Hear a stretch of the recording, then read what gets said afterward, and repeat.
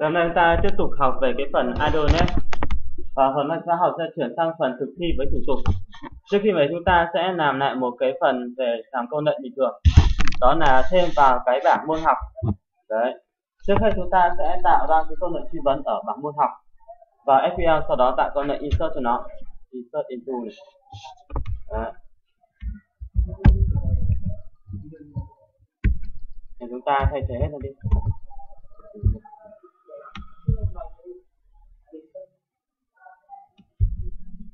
Trong môn học. À. cái phần này có ít thì chúng ta thể viết bằng tay, nên ví dụ trường hợp chúng ta làm nhiều trường.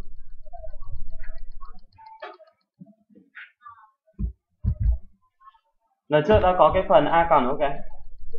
Có đồ không bây giờ thì khác, một cái thôi Đấy.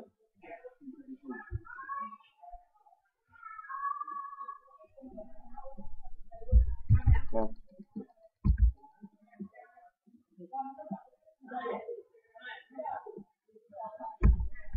Chúng ta viết một cái thủ tục uh, thêm môn học này, static này, và môn học.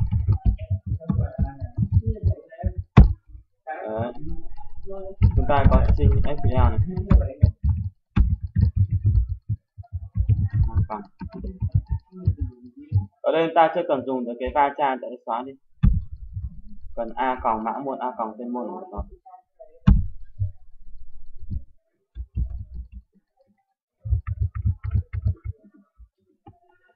nó phần trên ta sẽ thông báo cho người ta nhập mã môn chuyên môn.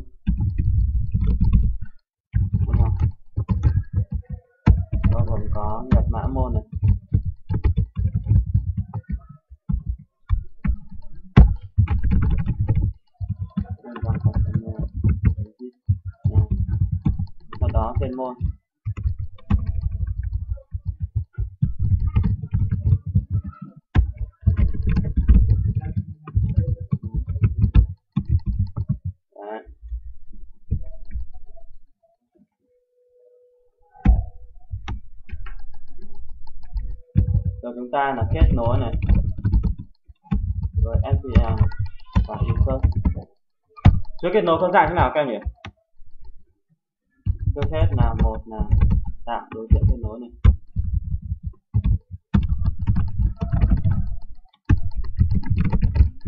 Bây giờ còn bằng cái gì các em chuỗi kết nối có thông tin gì nhỉ? Có gì các em sẽ đọc qua nào? Quên thì nhớ lại đầu tiên là kết nối phía đông chúng ta sẽ có thông tin là server này. Server này đâu là các em? Tên của FM mình đang sử dụng này, hoặc là cái server mình phải biết trên mạng, địa chỉ IP và hoặc trong mạng LAN vân vân. Ở trong này chúng ta sẽ làm ngay trên máy của mình. Do vậy server mình sẽ lấy ngay tại SQL từ nút kết nối này, chúng ta hiện là local hay express hay là cái tên máy ở đấy các anh copy cái này sang một kia để chắc chắn đúng. Rồi thông tin thứ hai là chúng ta cần là gì nhỉ? Server là local này. Đó là trong đấy có nhiều cơ sở liệu thì chúng ta sẽ phải lấy cái nào? Khi đó sẽ cần tới cái database. Database chính là tên cơ sở liệu mình cần thao tác cần thêm vào. Ở đây chúng ta sẽ có cơ sở liệu của mình sẽ là ms6 sinh viên hoặc cái gì khác.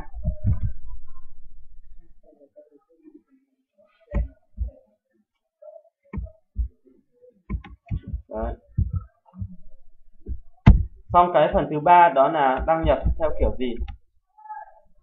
Đó là cái gì các em nhỉ? Theo kiểu Windows hay là sql có từ khóa gì nhỉ?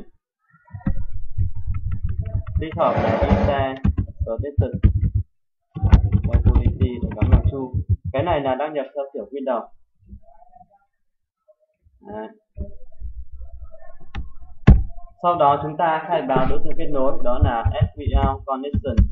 SQL con này, bằng new equation bên trong truyền cái gì các anh nhỉ? Trong cái equation ấy đúng rồi truyền cái chuỗi kết nối vào. Đấy. sau đó chúng ta thực hiện. Để làm việc được giống như kiểu chúng ta thao tác với cái vòi nước, chúng ta phải vặn nó ra, tức là mở ra mới dùng được nước. Khi nào mà dùng xong ta lại đóng nó vào. Để mở đóng chúng ta dùng open và cờ nào tuy nhiên, cái thao tác này rất thể xảy ra lỗi vì thế phải dùng với chai kép để mà khi có sự cố xảy ra thì chân thử của mình vẫn hoạt động bình thường chứ không bị treo nè. do vậy cái câu lệnh mà mở kết nối này tới SQL chúng ta để trong mục chai SQL con. Mở gì các nhỉ?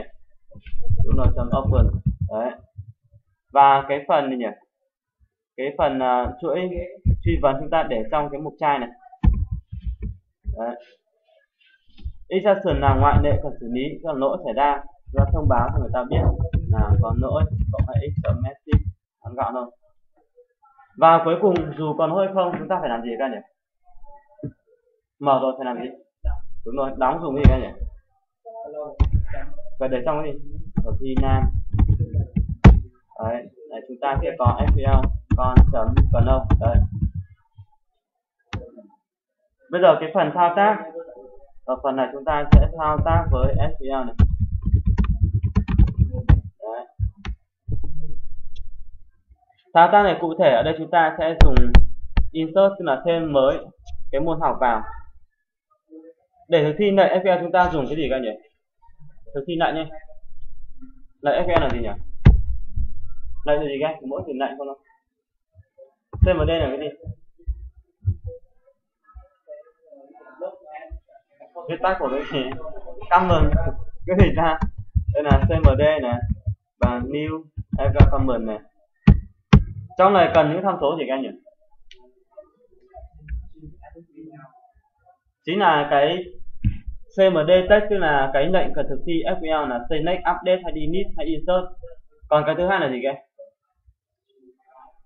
đó chính là đối tượng kết nối. Equation chúng ta chỉ cần chuyển đến cái ba của bốn là có thể thu tin rồi không phải học thuộc những cái làm gì cho mệt tất nhiên là làm nhiều sẽ tự thuộc thôi chứ không phải là học theo kiểu học về đấy, các chỉ cần chuyển mũi tên này đến ba của bốn là khác thấy để xuất hiện. Đấy.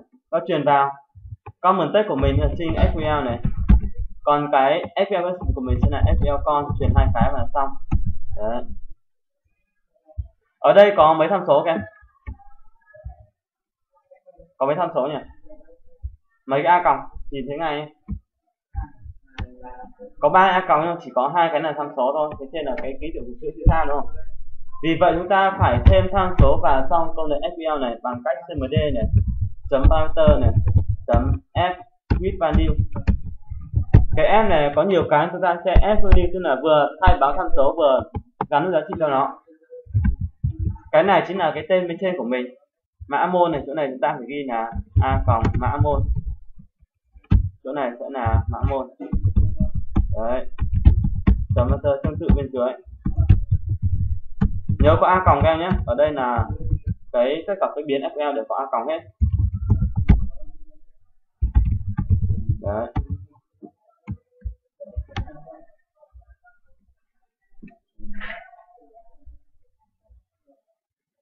Tiếp theo là chúng ta thực thi câu lệnh. này bằng cách nào các nhỉ? Thực thi lệnh là dùng cái gì? Trước hết là câu insert chúng ta có trả về kết quả gì không các có trả về bản ghi không câu insert này. Trên đây thì trả các bản ghi insert có trả về không nhỉ? Các anh chạy có thể nó trả bản ghi không nó chỉ có thành công hay không không có trả về đi đâu. Chính vì thế nó thuộc vào loại là non query thì chúng ta sẽ có cmd này chấm exec non query còn những cái gì tương tự như cái này các em nhỉ?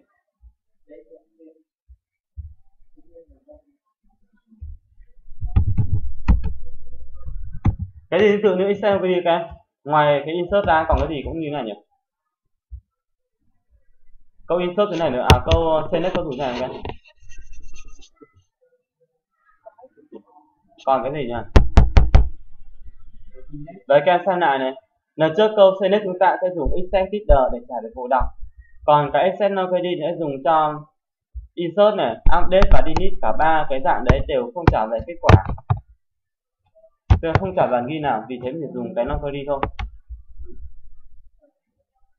Như này chúng ta đã thêm được vào cơ sở liệu cái phần môn học vừa có.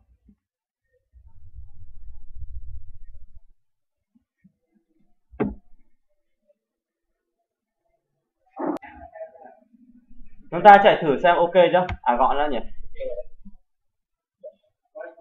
Anh chạy thử xem môn học anh có cái gì thêm vào là chạy chưa nhá.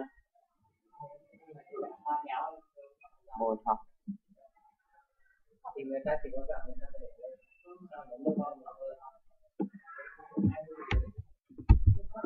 ở chưa có môn nào à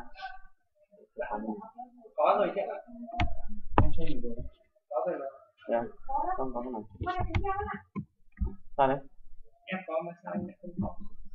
Nó nó chưa FB có dữ liệu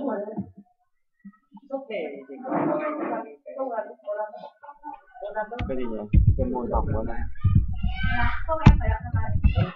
Cái môn học đấy. này mấy đấy. Lớp là bị như nào? Hạ môn m một này. môn toán lên là đến đây mà mình chuyển bằng được rồi.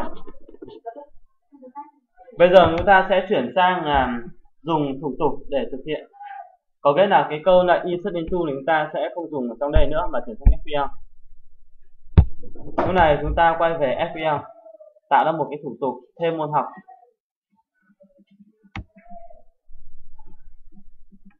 Đây. Tạo thủ tục thêm môn học này, đó là credit block ấy.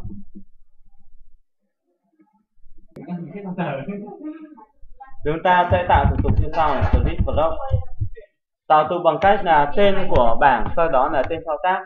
Tên bảng ở đây đó là môn học thao tác, thêm vào sẽ là insert, chúng ta sẽ có môn học insert. Này.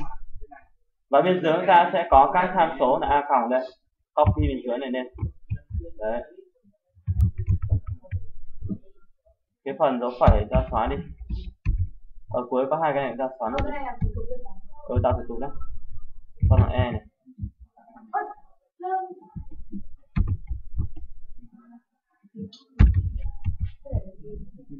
Chỗ này chỉ cần có mã môn này và tên môn thôi là xong.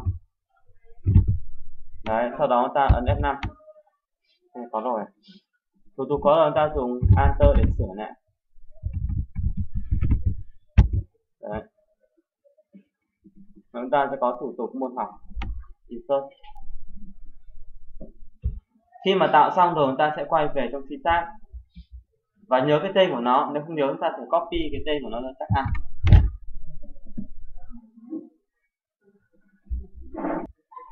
Chúng ta copy tên xong này, bây giờ chuyển sang phần syntax này lần trước thực thi ở cái dạng câu lệnh này, chúng ta sẽ viết theo cái này. Các nhìn kỹ nhé bây giờ thực thi theo thủ tục này. Từ tiêu thủ tục thì khác một chút ở cái phần SQL này thôi. Anh tạo một cái khác này. Trên SQL này trên block chẳng hạn. Bằng cái tên thủ tục mình vừa copy đó là môn học insert. Anh viết một cái khác cho nó dễ nhìn nhá, các em phải copy cả cái phương thức để tạo một cái thêm một thủ tục copy. Đấy. thêm môn học các em ghi là theo học bằng thủ tục ạ. Đấy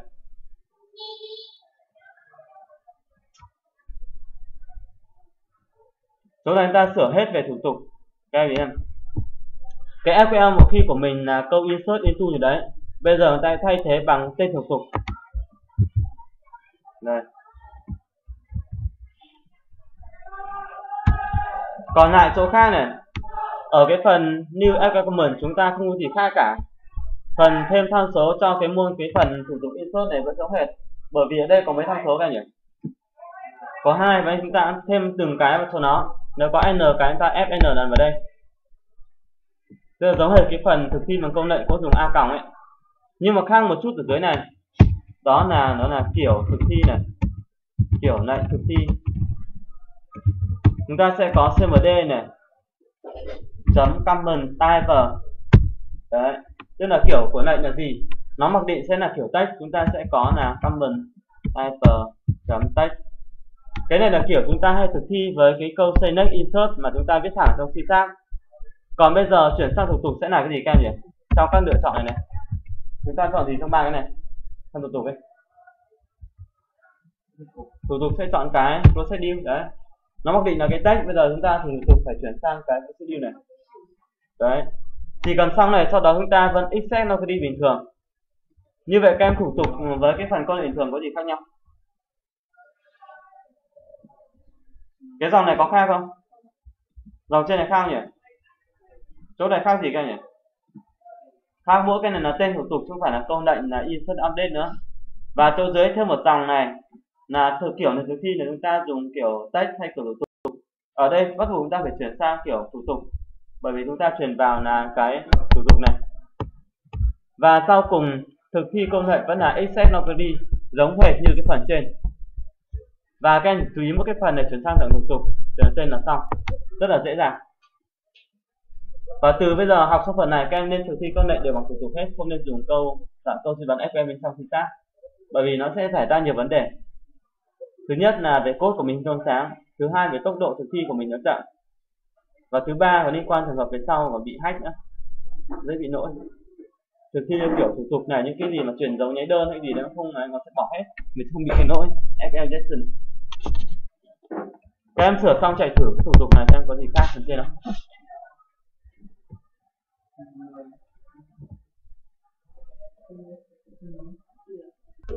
đây, bây giờ anh chạy thử nhá. Thêm môn học, bây giờ dùng cái thủ tục. Thêm môn học bằng thủ tục. Chạy thử coi được gì không? Mp này, thêm thủ tục này. Enter rồi, chạy lại. Đấy, nó ra thêm một cái nữa mp này. Cái này thường lỗi khi mà xảy ra chúng ta không có thủ tục hoặc là truyền tham số bị sai. Ví dụ giờ anh sửa cái tên thủ tục đi, thêm một số 1 vào đây. Một, hai, ba chẳng hạn. Nhưng nó chạy nó có thủ tục này không các em nhỉ? M test chẳng hạn. Đấy, nó sẽ báo là nhỉ không thể tìm thấy thủ tục có tên là môn học insert 123 bởi vì dùng mình không có, nó sẽ báo lỗi này. Hoặc thế này. Hoặc nếu chúng ta thiếu tham số, ví dụ bỏ cái này đi. Vẫn tham số đúng nhá. Đấy. Và chúng ta sẽ được là thông báo này. Thủ tục này, trông chờ tham số tên môn này cái này chưa được cung cấp. Các anh thì là gì đây này tên môn này. Chưa cung cấp tức là cái giá trị mình chưa truyền cho nó. Nó có hai tham số. Nếu mà not null thì lúc này phải để trong đây để cái phần thủ tục này. Nếu như mình khai báo thủ tục có hai tham số phải truyền hai tham số cho nó. Cái này không phụ thuộc vào not null hay không? Nó luôn chỉ phụ thuộc câu insert bên trong thôi cái đây là thủ tục bắt phải đủ. Đấy. Đúng rồi khai hỏi điền đúng cái đấy và giá trị cho nó. Cả kiểu dữ liệu nữa